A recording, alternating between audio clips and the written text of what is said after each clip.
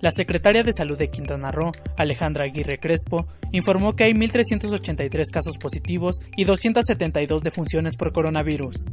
En su cuenta oficial de Twitter, publicó que de los casos estudiados, 1.358 han sido negativos, en tanto que 225 están bajo análisis.